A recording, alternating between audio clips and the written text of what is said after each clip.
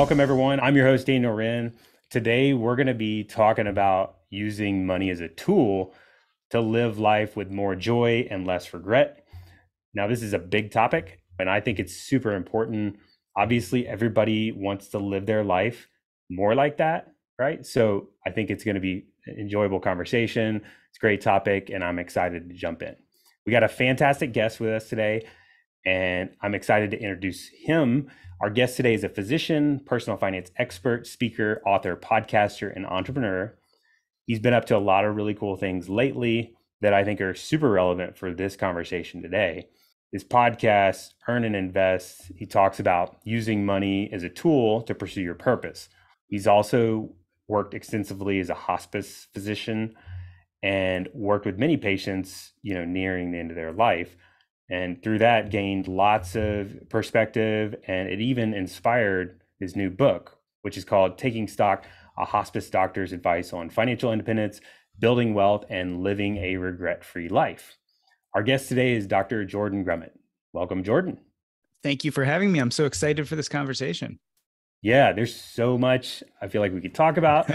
but I was telling Jordan before we hit start, he had shared with me this life review exercise, and I, in preparing for it, I did that, and I hopefully we can circle back to that. Also, as I was preparing for this song, kept popping into my head, and I had to throw this out there. It's a Tim McGraw song, which is called "Live Like You're Dying." I knew you were getting there. I heard it in my head as you were saying. I, I, I was thinking tell. of a song. I'm like, I'm hearing it. I'm hearing it. Yeah. yeah. I mean, I kept thinking of that song as I'm like digging into kind of your message and what you're all about. And it's about guy that's like gets the news. I'm sure all y'all listening have heard it. it. It's about this guy that gets the news that he's dying, and the way that he handles it is more of you, you know a positive view and almost looks at it as a a blessing and he goes skydiving, mountain climbing, and rides a bull and loves his wife and all the things in his last few days or so. And it it ends out with like, I hope you get the opportunity to live more like you're dying, which I, you know, it just kept kind of reminding me of this stuff. But is that how people actually, hopefully that's how everybody is when they're at the end, but is that how people are?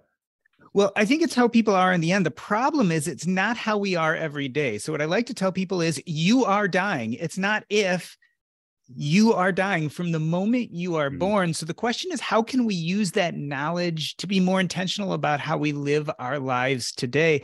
I think the Buddhists have the term memento mori, this idea of bringing this idea of your own death into your daily life.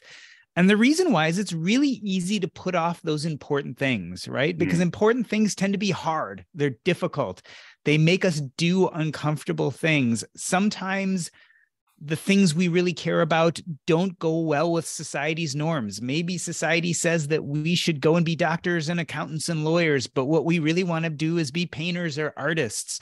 So there are all sorts of reasons to put aside those things that we really want out of life mm-hmm. as opposed to thinking about them today. The problem is, you know, we're not guaranteed the days, weeks, or the years. My father died when he was 40 years old suddenly. Mm-hmm we never know when our last day will be. Does that mean we should sit there and worry about it every day? No, but I think we should be more intentional about doing those things that are really important to us now. Mm-hmm. In your experience working with these patients on their deathbed, and I think especially I think of the people that were, I feel like it would be more real with the people that are aware of it. That kind of help. I guess you can relate to that more. But did it change you as a person going through that? And if so, like what was that change like? Oh, it changed me quite a bit. See, here's the problem when you have someone who's dying and they get told you have weeks or months, all of a sudden they give them per- themselves permission to do or think about all those things that they truly wanted, right? They've been pushing all this stuff to the side because it's scary or because it's not what society or their family has asked out of them. So they've been not paying attention to their own real wants or needs. And now they're told they're dying and they say, okay, now I'm going to give myself permission. Here's the problem you only have weeks or months to live it's really hard to kind of do those important things to get in touch with your sense of purpose, to get in touch with those people who are most important to you it's really hard to do that when you only have a short period of time left. What I call this in mm-hmm. the book is the deus ex machina. This is the plot twist at the end of the movie that unexpectedly fixes everything. So in hospice, we try to help people come to terms with their lives. We try to help them deal with their sense of purpose and what they mean in this world. But I'd rather avoid you needing the last minute plot twist what if we started working on these things when we were much earlier and younger? Mm-hmm. And so that's what I kind of learned. How did this all affect me as I was dealing with the dying and I was seeing their regrets and I was seeing that they were scrambling to do these last important things in their life because they never put the energy or time into doing it? I realized that I needed to look at my own life and instead of leaving it to the last minute like they did, and instead of waiting for that last minute plot twist, I could start working on these things now.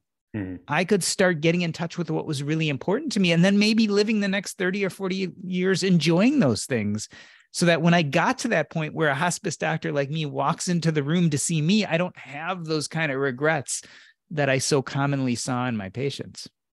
What did that look like for you? Oh, for me, I think I realized that I was spending a lot of time doctoring and I wasn't enjoying it. So by the time I got into hospice, the only thing I loved about being a doctor anymore was the hospice work. But I was spending 30 or 40 hours a week doing office work and hospital work and nursing home work. So one big thing I did was slowly pulled away from those things. Luckily enough, I had built a financial framework that would allow me to do that. I realized that I was more interested in communication and writing and podcasting and blogging, mm-hmm. all these things I'd always promised myself when I had the time I would do, but mm-hmm. the time was never there. So I always wanted to write a book. I always wanted to do things where I could have these important conversations that would help people, but I kept on putting it off because I was too busy being a doctor, making a living, you know, mm-hmm. being my profession. And so I think dealing with my dying patients with these hospice patients helped me finally cleave that bond to these things I thought I was supposed to be doing mm-hmm. and start really questioning well, what do I want to do? Mm-hmm. Yeah, it's so interesting that we're chasing this whole like a lot of us are chasing retirement or happiness or whatever, and we're working so hard, but we don't even have any space, so much that we're, we don't even have any space to enjoy it today and so it's all kind of like future focused which is interesting because what's the point of retirement? I mean, a lot of us think of retirement or think of getting to this place where we call financial independence or financial freedom. And we almost focus on that thing, the word retirement or this idea of financial freedom, but we don't think real deeply about what that gets us. Mm. What it should get us, retirement or financial freedom, is the time and the space to do those things that are purposeful and meaningful to us. But why do we have to wait to retirement to do that? Why mm-hmm. can't we start thinking about those things when we're in our 30s and 40s? And so your average person would say, well, we're too busy working or building a family to do that. But I would argue, well, why can't we incorporate those things into our work, into building a family? Mm-hmm. Why do we again have to focus on the purpose of work is to make money and the purpose of having money is a goal so that I can stop working? That all sounds great. But again, it's this idea money is a tool we work to build up more of this tool, but then we have to make sure that we use that tool to actually do those things we want to do in our lives. Mm-hmm. Yeah, I think I think most people will say, "Oh yeah, I get it. Like money is a tool," but then if you look at their life, they're kind of caught in this pursuit of more money, or the money is the end goal. So there's and, this disconnect it's really easy to make money of the goal. And think about this money is easy because it's quantifiable. You can measure and monitor it. You can set these wonderful goals.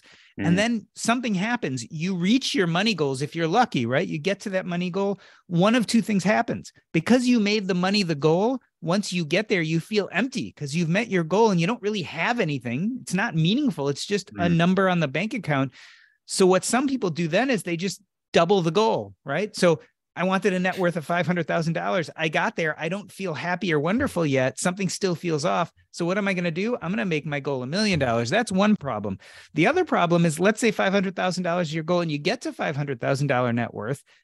All of a sudden, you get petrified you're going to lose it. And it's something called loss aversion this idea that we're doubly afraid of losing what we've gained than we are of never gaining it in the first place. The reason why reaching these money goals causes us anxiety is because they're hollow, they're hmm. mirages. Mm. It's just a number on the paper. It's just this thing that we've created to mean value or wealth. these are hollow goals and they don't make us feel good. What we Mhm. need to start doing is thinking about, well, what's really important in our lives? What do we want to accomplish? And once we move past that, then we can see what money can be used to do for us. hmm And these are more durable, tangible goals that actually give us some modicum of happiness versus just some net worth number, which we think is going to make us happy. But actually, most people get more anxious as they get closer and closer to that money goal. hmm Yeah, and I think the science backs up. A lot of research has been done on that, and I think it all backs this up. I'm curious if some of these people nearing the en- end of their life were some of them, you know, doing it right. Like, had some of them kind of like really just, you know, knocked it out of the park on like they were in touch with their purpose. There are plenty of people who live really good deaths. I've highlighted in the book a lot of people who had regrets. And the Mhm. reason why is I wanted to show how these regrets could translate into making a better life for us as people when we're younger. But the people who start thinking about purpose, identity, and connections early on in their life actually tend to get to the end of life and don't have these regrets. There's not the mad scramble to accomplish all these things because they already have. But it is still the rarity in the sense that most people don't really want to face these tough questions of what's really important to me and how do I achieve it. Most people put it off. And I think a big reason people put it off is because it's scary. Like when you start thinking about meaning and purpose and these big things, it reminds you that life is finite, that you could get to the end one day and not meet these goals. And that's mm. really anxiety provoking to think I could die one day. Maybe I won't achieve what I want. So instead of even thinking about it, people just put it off and concentrate on the easy stuff. I think money is an easy thing. It might not be easy to make money, but you know the steps. Like, you know, I could get a raise at work. I could get an extra job. I could start a side hustle. I could invest more aggressively. Like these all are answers to simple questions. But then when I say, well, who do you want to be and what do you want out of life? Mm, That's a much difficult question. I think it provokes a lot of anxiety. And I think some of that anxiety is tied to the fact that it reminds us of our own mortality. hmm I mean, it's an evolving thing. If you're kind of caught up in this perfectionist mentality, I think it's like there's no perfect answer for that. It's like impossible to perfect your purpose and future self, and it's evolving over time. Do you think there's specific challenges physicians face? Ideally, we're all living a regret free life, but as a physician, do you think it's particularly challenging? Oh, I think it's very challenging. One is there is a huge societal pressure to be doctors and what being a doctor means. So, anyone who wants to step out of that narrative really faces a huge backlash. The other problem is what most of us go into medicine for this dream of being there and helping people and making a difference, that dream gets a little bit mangled as you go through medical school and residency. And by the time you come out, you realize what you're doing for a living isn't what you thought it would be. You're Mhm. spending a lot of time in front of a computer. You're trying to help people who sometimes don't want to be helped. You're arguing with insurance agencies all the time. And Mhm. so, burnout, while common in all fields, I think is extremely important in the practice of medicine because it's so, so common and so, so easy to become a victim of it. So, I think that's Mhm. very unique that we decide usually at young ages that we want to become physicians and there are all these societal and external pressures that push us onto this path. And once you're on that path it's really hard to veer off. Not to mention that if you do end up being a, a physician you finish residency and you're like i hate medicine. I don't want to practice it anymore. Guess what? You might have hundreds of thousands of dollars of medical school debt. And the only thing you know how to do that creates income is be a doctor which by the way creates lots of income. So if you're Mhm. going to step away from that and then go do something you're not nearly as trained to do, you're not going to make as much money. You're going to have a hard time paying off those debts. Yeah, it's a challenging spot to be in. How do we start to gain greater awareness or start to maybe I mean the burnout situation is challenging because I think if you're in the rat race and you're just grinding it out, it's hard to even think straight. And so maybe it depends on circumstances, but like how do we start to kind of move the right direction on this? So I think the first step is you almost have to take your finances and put them aside for a moment, which scares everyone, right? Because Mhm. I'm someone who's interested in personal finance and I'm actually telling you ignore your finances for a short period of time or put them on autopilot for a short period of time. And the reason you want to do that is you really need to start thinking about what do purpose, identity and connections look like in my life? Mhm. What does meaning look like in my life? Only after you do that really hard work, which sometimes takes months or years, can you then go back to your finances and say, okay, I know who I want to be. I know what I want my life to look like. I know how I want my days to be filled with meaning. Then you need to go to your finances and build a financial framework that fits around that. Mm-hmm. Now, of course, that leads to a very difficult question, which people struggle with all the time is, well, how do I define my sense of purpose and identity? And that's a mm-hmm. whole nother conversation that gets into what we were talking about before with things like a life review. There's lots of exercises we can do that help us start getting in touch with who we are and what we want out of life that help us see through that kind of mirage of wealth let us see past money and net worth and start thinking about the more important things like how do i want to spend my time what do I want to contribute to the world? Who are those people I want to touch and in what way? How do I want to be remembered by my children and grandchildren? Mm-hmm. All of these kind of big questions get us past money and make us think about what's really important to us. Yeah, I think the natural tendency is to focus on the money first, like you're saying. I was looking at some of my goal setting from when I was early in my career and it was exactly what you're talking about. It was like a you know net worth and income, yeah, and then I yeah. think I had like a five year goal of like needs to work on relationships and spirituality or something like that. I'm like, well, I had it all backwards, and I think that's yeah. common. I think it's really common, and and again, it's very comfortable mm. because if you think about your list, you knew the steps to take to get to a higher income or to be higher on the professional stratosphere, whatever was important to you there but it's kind of amorphous when you start saying, well, how do I become more spiritual? How do I work on my relationships? Like that stuff is more difficult, more time consuming, and in some ways more stressful. So it's easy to put it aside. But again, when you flip the script and you realize that money is just a tool to get you to those other things, then you realize, well, I need to know what those other things are first before I then build this tool to support mm-hmm. it. How can we know if we're headed on the wrong path? Are there, I think of maybe symptoms that we can say, you know, maybe I ought to really, because it's hard to self diagnose this kind of thing. And, but I'm sure there's kind of like warning signals. You know, it doesn't feel good. Mm. So let me tell you about what happened to me.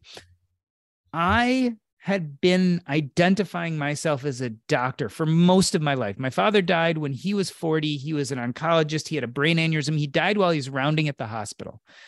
I was seven at the time. And like lots of little kids, I somehow convinced myself it was my fault, right? As a kid, you see everything through your own lens. Mm-hmm. And because it was my fault, the way I was going to make up for this was I was going to become a doctor and I was going to fulfill the role that he couldn't because he died young. And that became really purposeful and even in some ways joyful to me. This is what I was going to do for a living. I would do it even if you didn't pay me. This was the thing for me. Mm. It was very purposeful, but something happened. You know, I went to residency in medical school and I had almost no medical friends. All my friends were excited when they became residents because they could hang out in the doctor's lounge. And I felt so uncomfortable there. and finally, when I was a doctor and I was practicing, my wife and I would go to parties and we meet new people and i would almost be embarrassed or ashamed to tell people what i did for a living hmm.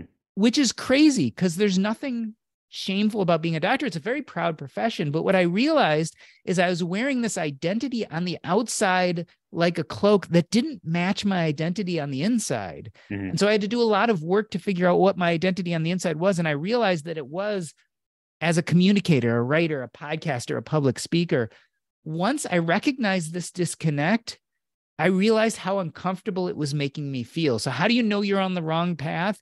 It doesn't feel good. You mm-hmm. feel disconnected.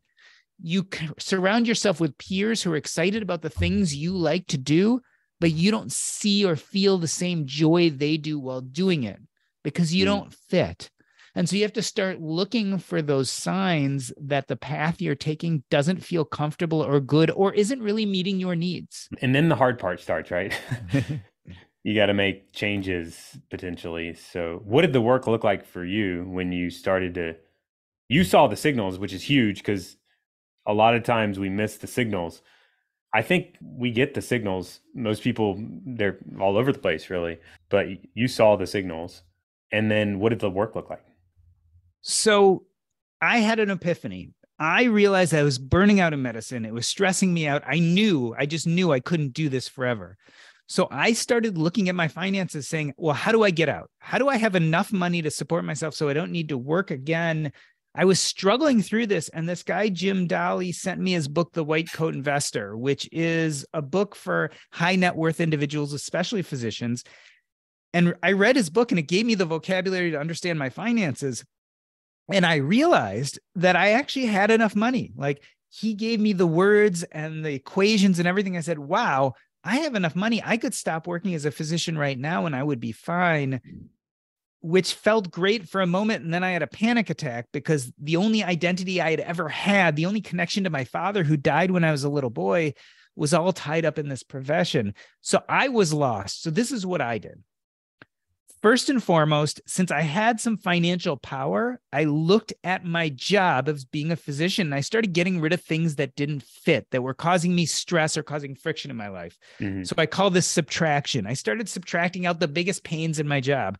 So at that time, I had a private practice. I wasn't willing to step away from being a physician totally. I couldn't step away from that identity. It was just too fresh and new, and I didn't know who I was but I could get rid of my practice, which was causing me all sorts of stress. And I was going to patients' houses on Saturdays and Sundays to mm. see them.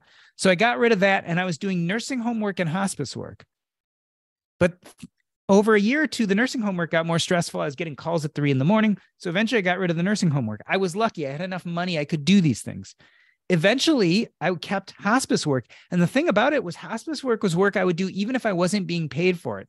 So that was a big sign to me. I said, okay, I started getting rid of things I didn't like in my current workplace. And what I was left with is something that felt genuine, purposeful, something I would do even if I wasn't being paid for it.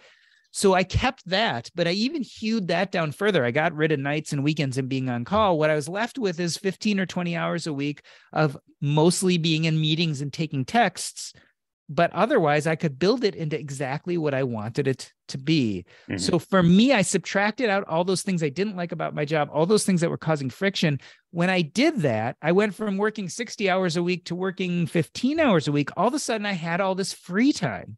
So the question was, what were the things that were meaningful for me that I now had time to do, which I never had before. Of course, there was the obvious family stuff like being there for the kids and my wife and et cetera. Mm-hmm. But what I really recognize is all throughout my career, I was squirreling away little bits, minutes, and hours to write blogs or do public speaking or to act as a communicator. I was squirreling away these little bits of time to do it while my family was sleeping or during an odd lunch break here or there.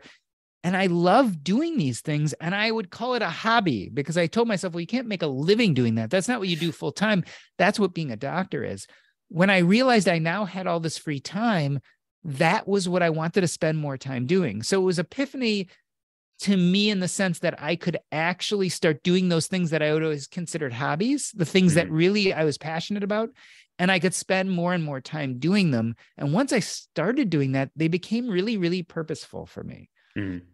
And so that's how I had to approach it. I, I had to do it slowly. I had to get rid of those things I didn't like first, create some time and space, and then start slowly adding in those things that are purposeful to me. Now, a lot of people could be listening to this and saying, well, most of us aren't as lucky as you are. Maybe we don't have hobbies. Maybe we don't think or know what's purposeful to us. But for those people, I'd say, well, now you have some extra time and space in your life. Start throwing the spaghetti against the wall, start volunteering for things, mm-hmm. start thinking back to childhood and what really got you excited or motivated. Think about those nights where you woke up in the middle of the night excited by an idea and your heart was racing and you couldn't fall back asleep because it was so cool. Well, did you pursue those things? Maybe you convinced yourself the next day you were too busy or it didn't fit into your work schedule, or that's not what adults do. Mm-hmm. But now, if you can create some space in your life, maybe you can start pursuing those things and start thinking about what do I really want? What really gets me excited? Mm-hmm. You mentioned the Coat Investor book. Um, were there other influences that come to mind that kind of there's all these little influences in our lives that kind of propel us the right direction.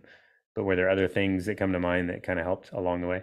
I mean, there were tons of influences. The first influence was my parents. So my parents modeled fantastic financial behavior. They never gave me the vocabulary for it, but I grew up with parents who saved 50% of their income, who owned real estate, who ran their own businesses, who had side hustles. So immediately, they had a huge impact on who I became. And that was the only reason when I finally got that book from Jim Dahle, I had been modeled such great financial behavior that I had just done what my parents did, mm. which was really lucky because when I finally figured it out, I actually had enough money to start steering the ship and doing what I wanted to do. So, right out of the box, my parents were incredibly influential. There are a lot of books out there. I mean, there are a lot of financial books. Once I read Jim Dahle, I started reading blogs like Physician on Fire, started reading J.L. Collins, The Simple Path to Wealth, Grant Sabatier, Millennial Money. I mean, I just started taking in all of these personal finance people. Mm. And it helped me refine my financial knowledge, but it also, again, helped me get to this point where I could take my finances and create a sense of autopilot or competency so that I could start putting my mind to other things like what's going to be meaningful to me? What do I really want to spend my brain power doing? Mm-hmm. So, how did you shift? Was it kind of a natural shift into?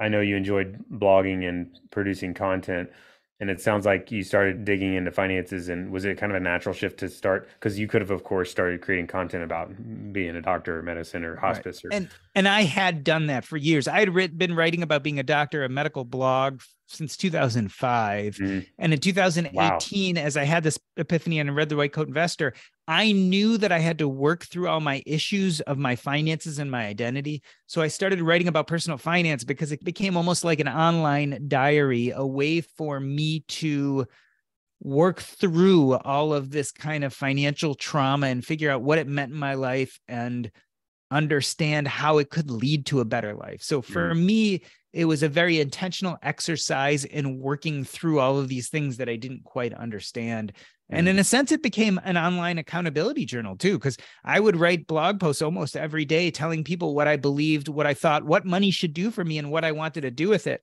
And once you kind of put that out into public, it does provide the sense of accountability of, okay, mm. I've thought it, I've now written it, and now the next step is to actually do it.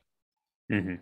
Yeah, I think accountability is big. You did it in a one form. There's accountability with people in general, but like a lot of times people use more like one-on-one accountability or your spouse or but the internet is a great one because it's like the masses yeah and if you write a lot of times too if you are engaged in a community so i started engaging the personal finance community you write and people respond, right? It might not be mm. hundreds of people respond, but even if you get a few responders, those become your accountability partners, whether they mean to or not, mm.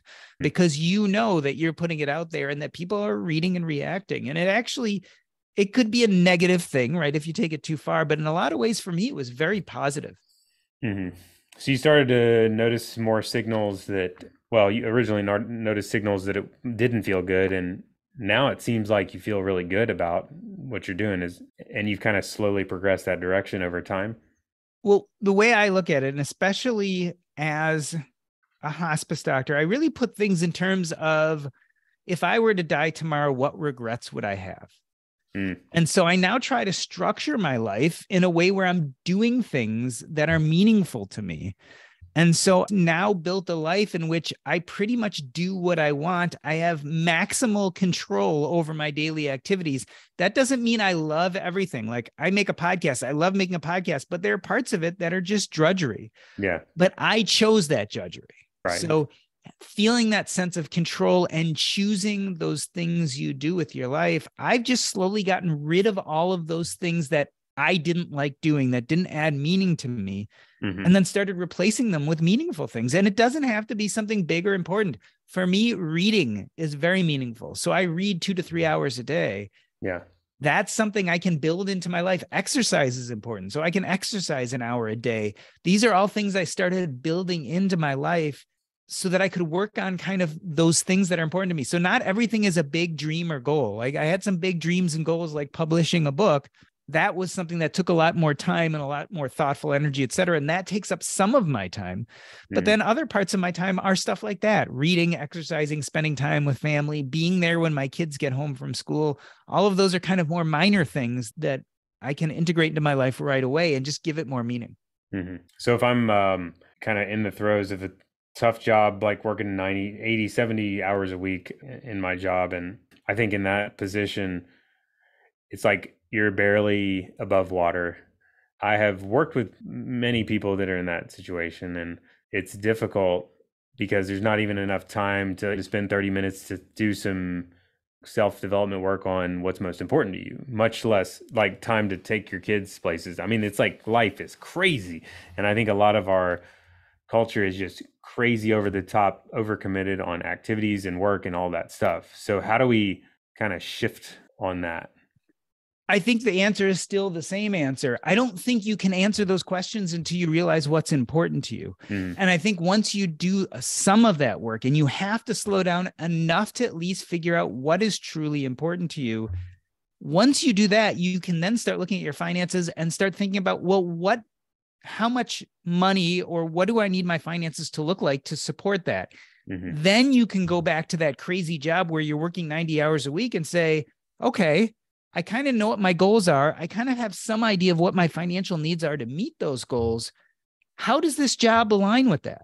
Mm-hmm. And there's so many different answers. One might be this job makes me a bunch of money, and I'm willing to put that all aside for five years to work really hard, make tons of money, mm-hmm. and then quit and live off of the proceeds and then do those things I want to do. That might right. be the answer for one person. Another person might say, look, I can quit this job and take a job part time that I spend 45 hours a week instead of 90 hours a week, I'm going to make 50% as much money, which means I might have to work until I'm 60 or 70. But having those extra 45 hours a week will allow me to pursue things I want to do, allow me to spend time with my family. Yes, I won't have as much money in the coffers, but I'm going to be enjoying life a lot more right now. And I'm going to be much more purposeful today you know, for some people, that might be the answer. Mm-hmm. For some people, the answer might be I'm working 90 hours a week and I can take a quarter of a pay cut and drop some of these responsibilities and hand them off to someone else. There's so many different possibilities once you know what you want and then can start putting that into a financial framework but you can't figure out how to attack that crazy life now until you have an idea of what a better life looks like. And I know mm-hmm. it's exhausting and I know people are busy, but it's the only way you're really going to start shaping your life now to fit what you want. Otherwise, you're just a victim. You're just mm-hmm. a victim of circumstance. You're a victim of someone told you you have to work this much and make this much money and you are living a crazy life and if you're not enjoying it if it's not fulfilling you if you're not working that job to produce the tool of money to get you a better life then why are you doing it? Yeah. I remember one day i came to work and i have you know running the business and it can pull you in a lot of different directions. And one day i came in and i was working with jen who's in here at the time and was just like kind of built up pressure and i'm like all of a sudden realized I'm completely fried. I had too many commitments. And I'm like, Jen, we got to reschedule all my meetings, like clear the calendar. I'm out. And I left and went on a run and like took a couple of days off. And that was kind of a recharge your batteries kind of experience. This is life telling you something's wrong, right? If you're living that crazy, busy life and letting those important things in your life slip away, you're doing it wrong. And I'm going to say that again. You are doing it wrong because you are dying from the day you were born, and there's a finite amount of time left. That may be days, it may be weeks, it may be years, and no one knows how much. So you have to ask yourself the question if I died tomorrow, would I have regrets? And if the answer is I'd have tons of regrets, you're doing it wrong. right. We got to make changes and they got to be like ASAP. Yes. And, and that doesn't mean you, you, have to drop everything, but it means right. we need to start being real thoughtful about how we're going to make this better. Yeah. And I think the awareness is where you get, a lot of times you get the motivation just from the awareness and that can drive you. But I would love to talk about some of the stories from the book about patients. You had a bunch of stories about patients and I'm curious about your favorites? Do you have favorite stories from some of the patients that you talked about with, with some of their regrets and some of those observations? I mean, I have tons of stories that are my favorites, some of them for good reasons and some of them for kind of bad or sad reasons. Let me tell you mm-hmm. one story I love that I often tell is about my patient Ernesto. Ernesto was in his 20s, was at the height of his money making abilities. He was building his professional career, and he did something that many people didn't quite understand. He decided to take a year off, train, and go try to climb Mount Everest. Mm. And people said, What are you doing? You're in the midst of making money. You're building your career. This is going to slow you down. They started talking about opportunity cost, right? Instead of using that money and instead you if you took your salary and you invested it and it'd be worth Yeah. millions in years. So that was in his 20s. And he went and he took a year off and went to go climb Mount Everest. Now, interestingly enough, I met him in his 40s when he was dying of leukemia. Hmm. And so let's play this whole scenario back. What if he hadn't taken that time in his 20s to try to climb Mount Everest? What if he had put it off? What if he had said, you know what, I'm in the middle of building my career, I can do it later? Ernesto spent most of his time regaling the hospice workers with stories about being on Mount Everest. It was the thing that he talked the most excitedly about. Here's something else interesting. He didn't succeed. You know, they made it about halfway up. The weather changed. It was unsafe. He had to go back down. And by then he had to Mhm. leave and go back. He didn't succeed. But the interesting thing about Ernesto is it wasn't whether you succeed or fail. What people regret are the things they never had the courage to try. Mm. And so, what was great for Ernesto is we talk about investing in the stock market, we talk about dividends from our stocks, but Ernesto invested in this experience and it compounded over the years and continued to give him dividends up until the day he died. Mm. And so, this is a great story about how knowing your sense of purpose can actually help you today and may make you decide things that don't necessarily benefit your finances, but help you become the person you want to become sooner. Mm. And so I think Ernesto's story is just a great example of so many things, but it's also a story of the risk of not living your life today as well as tomorrow, not realizing what's important for you. I also like to tell my own story about how I did it wrong. When I started medical school, my first week, I volunteered as an inpatient hospice worker. Mhm. And for the first year or two of medical school, every week I would go and be a hospice volunteer. On the other hand, I convinced myself, no matter how much I loved being a volunteer, that wasn't something I would do for a living, right? It either wouldn't pay enough or wasn't exciting enough. I wanted to be an internal medicine physician and rush in the room and save people's lives. And so I went and became an internal medicine physician, burned out and left medicine. The only thing that I wanted to keep was this hospice work. By that time, I had made tons of money. I was financially independent, so I could afford to leave medicine completely. But what if I had been more in touch with my sense of purpose and identity as that medical student? What if I realized that hospice actually fulfilled everything I truly wanted out of medicine and became a hospice doctor to start with? You know what? I probably wouldn't have made as much money. I probably wouldn't have as high of a net worth. I probably wouldn't be financially independent, but I also probably wouldn't have burned out at medicine. And I probably would have spent my days doing something that was really meaningful for me that Mhm. also happened to pay the bills. And you know what? That would have been monetary needs, Mhm. but our passion and meaning and purpose. And if we do that correctly, there's no reason to rush towards something we call financial independence. There's no reason to rush towards a high net worth. You're already actually doing all those things that the money is supposed to do for you already. And that's the Right. goal. So those are those are two good stories, I think, from the book. Yeah, I think as you were saying that, I think of a lot of conversations I've had around financial independence and retire early. And I think we've interacted with lots of physicians that are, it is a passion. Like they truly do love medicine, but the system is like just crushing them, causing a lot of the problems. And so they're really pushing hard on these side hustles and passive income and real estate and all these things to basically get to fire faster or financial independence faster and i think the issue i see is that they're almost it's like pulling them away from their passion Yep. There was this guy named Jeff who wrote a blog called The Happy Philosopher. He's a radiologist. And he talks a lot about how he got burned out in medicine and he decided that I could change my life. I could be more frugal. I could invest. I could do all of these things. And that would allow me to go part time in medicine and eventually retire early. Well, guess what happened? When he started taking control of his life, when he started seeing that there were financial pathways he could support himself, that his money could give him options, he ultimately decided not even to go part time because just feeling that sense of control, mm. knowing that he could control his life, knowing that he could go down to part time anytime he wanted to, brought some of that joy back to what he really liked about medicine. Mm. So the goal, the answer to burnout is not become financially independent and leave medicine. The answer, in my opinion, to burnout is create safety and a safe financial framework so you can take your job and meld it or mold it into what you want it to be. So you can get rid of those most worrisome friction points and make it much more manageable. For some people, that might be doing concierge medicine. For some mm-hmm. people, that might be doing direct practice. For some people, like me, it would have been changing specialties and only doing hospice medicine.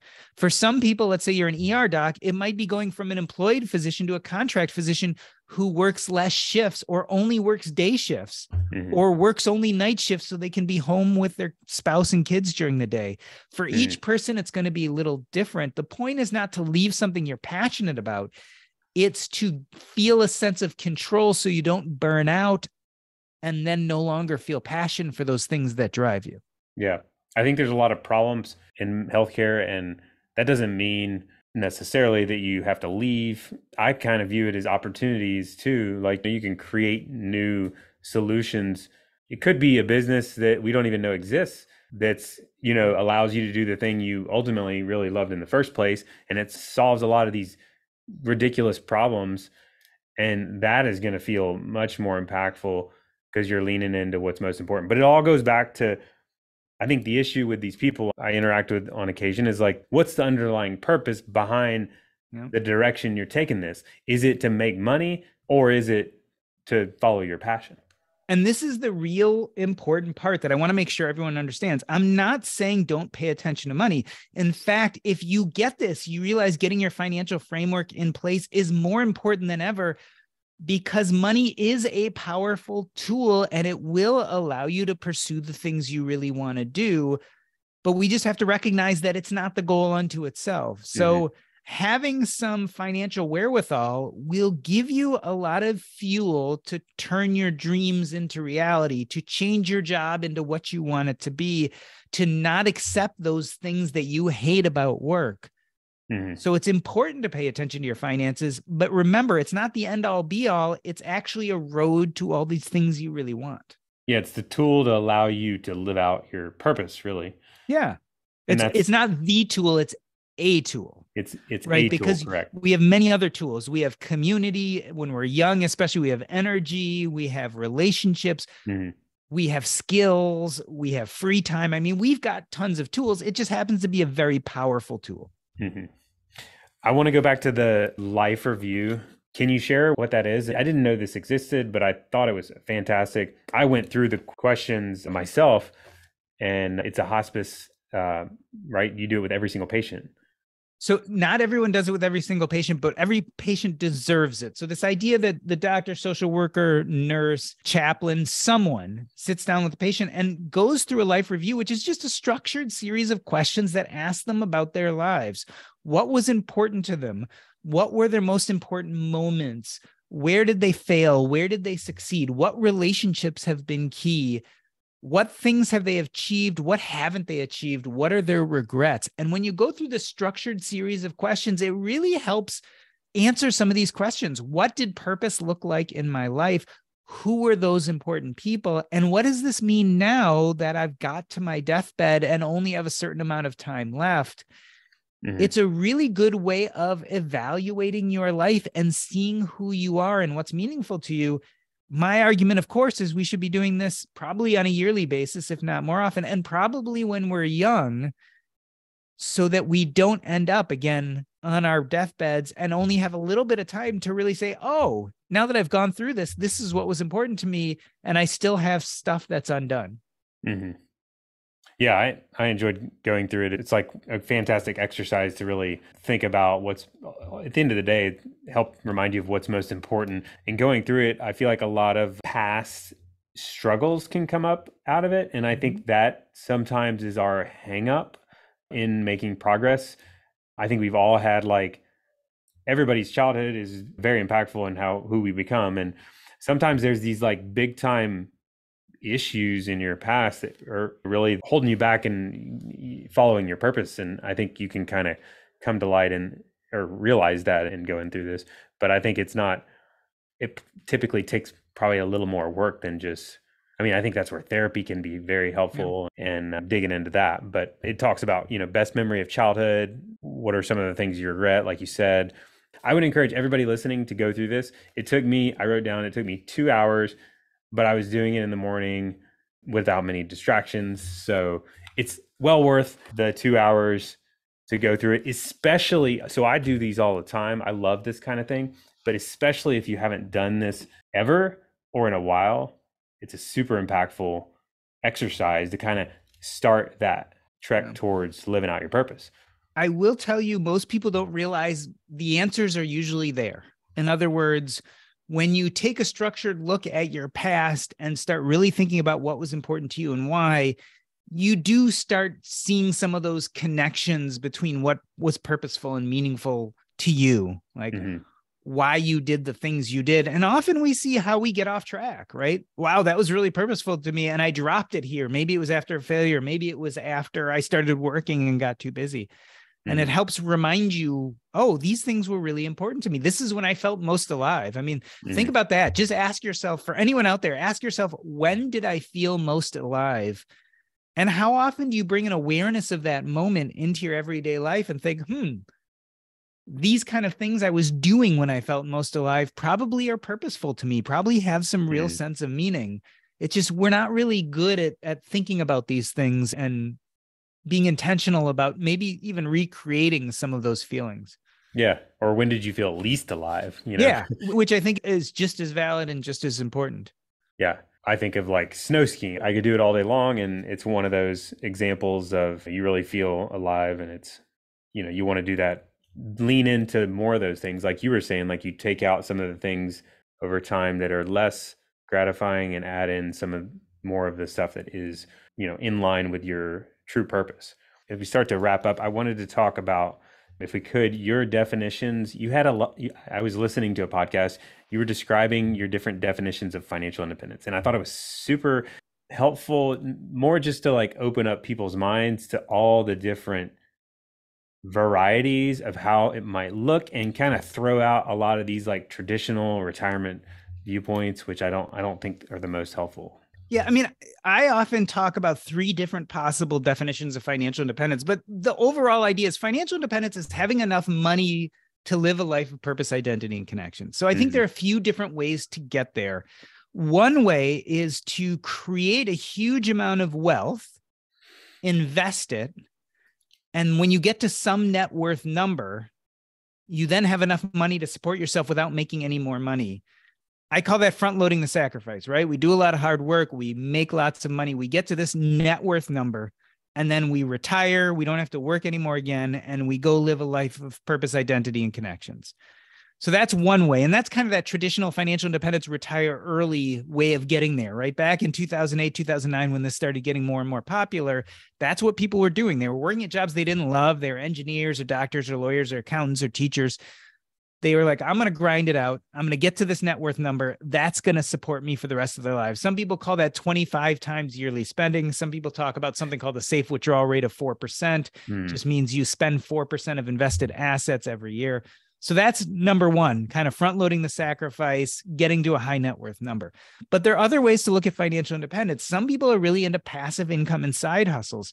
So for them, they do this passive income work or side hustle work. And once they make enough money to cover their monthly needs, in a sense, they're financially independent. So imagine that you own a business or you own a bunch of real estate and the money you collect every month can cover your monthly needs. A lot of times with passive income and side hustles, you start to build the processes to put it on autopilot, right? So you mm. might own a bunch of real estate, but you're not going to that real estate every day. Maybe you're going once a week or once a month to take care of things, but the rest of the time it's generating revenue for you and you're living off of that. So that's the second way is through passive income and side hustles covering your monthly needs. The last way is if you think about the whole idea behind financial independence is to live a purposeful, meaningful life. Well, let's say you're in college or let's say you just got out of high school and you start a job that's incredibly meaningful for you, a job that you would do even if you weren't getting paid for it, but you happen to be getting paid enough to cover your monthly needs. In my opinion, you're financially independent immediately. Mm-hmm. So, financial independence could look like doing a job that fulfills your sense of passion and meaning in life and having a long career doing that. So, to mm-hmm. me, that's three different ways. Way one, front loading the sacrifice, getting to a high net worth. Way two, passive income and side hustles, having enough passive income to cover your monthly needs. Or way three, which is the passion play, which is doing something for work that's meaningful enough that you'd want to do it every day anyway. Mm-hmm.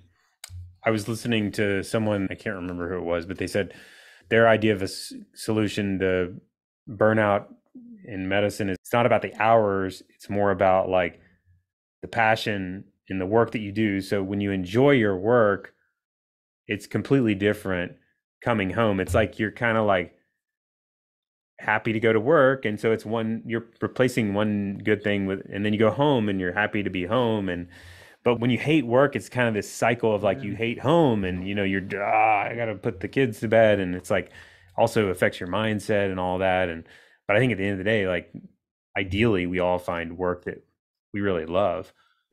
Yeah, there are a few problems with the passion play. I love it and I think it's a great way to reach financial independence. There are a few problems though. One is that you may just not be able to find a job you're passionate about that you can make enough money doing. Like, so let's right. say you're an artist and you love painting and you paint 100 paintings a day, but only one sells a year. Mm. Right. So you're not going to be able to make a living on that, unfortunately. So it doesn't work. Or, you know, there's something that comes from behavioral theory, and we're seeing this a lot in medicine. Sometimes, if we take something we're highly intrinsically or internally motivated to do, a passion, and we receive external rewards, money for it, it actually kills our passion. And we see this a lot in medicine, especially in pay for performance, right? With ACOs and a lot of this kind of stuff, pay for performance, you get paid more for hitting certain metrics. And yeah. what it ends up doing is it takes something where we feel like we have a bunch of autonomy and freedom, the practice of medicine, and it makes us feel constraints in order to make money. And ultimately, we might even make more money, but we find that it kills our passion in doing the job. So, mm-hmm you have to be careful. Receiving external rewards for something you're deeply internally motivated to do can have the opposite effect, and you just have to be careful of that. Mm-hmm. I realize we had a couple questions here. I want to ask this one because I think it's a really good one. This is from Hugh. So we're going back to the values, exercise, and understanding your purpose. He asks if you think it's helpful to involve other loved ones or your spouse or partner, and curious on your comments on that.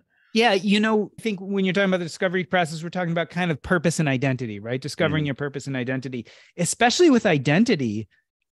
Often, when you're getting stuck and you're like, I don't know who I am. So, when it comes to identity, one of my favorite exercises is ask yourself the question or say the statement, I am, and really dig deep, right? You start with, I am a doctor. And then you go past that and realize it's your profession. And then you say, I am a father, a son, a spouse. Okay, those are family relationships when you get deeper and you start saying things like for me it was i am a podcaster a writer a public speaker i realized i am a communicator for me i was able to go through that process but a lot of people aren't so the next thing i say is go ask your family and friends who do they see you as sometimes you get caught in your own head and you can't see things and you ask a family mm. and friends and they're like no no no you're really good at this and you're like, oh, I never thought about that. But yes, that's how I do things. That's why I'm good at my job. It's because I have this characteristic or I'm really good at that. So I think bringing in family and friends can be very helpful. It doesn't relieve you from doing the work yourself, mm-hmm. But they can give you a nice outside perspective. Yeah. I think in my own experience, I've done a lot of this myself, but then I'll kind of involve my wife after I've fine tuned it a little bit and then get her take because a lot of it ties into our finances and we have to make mutual decisions and that sort of thing. But I think it's good to do both. Exactly. I think you have to do both. Yeah. Well, I know we're getting towards the end of time, so I want to make sure and be respectful for your time. So I had a couple things I wanted to throw out. Of course, your book is fantastic. A hospice doctor's advice on financial independence, building wealth, and living a regret-free life. Taking stock is what the book is called. And so I know your website is a great resource and the podcast I've already mentioned, Earn and Invest. Are there other places that I missed or places people can find you at or the best place is to actually go to jordangrumet.com, J O R D A N G R U M E T. You will see links to all the content I create there. So I have okay. a medical blog, which I don't write at anymore, but I wrote from 2005 to 2018. I have a financial blog called Diversify you can get to from there, and then the Earn and Invest podcast, as well as links to the book. So jordangrumet.com is the easiest way to get to everything. Yeah. Okay. Well, Jordan, I appreciate you coming on. Keep up the good work and um, it's been a great conversation. Thank you for having me. It's been a blast.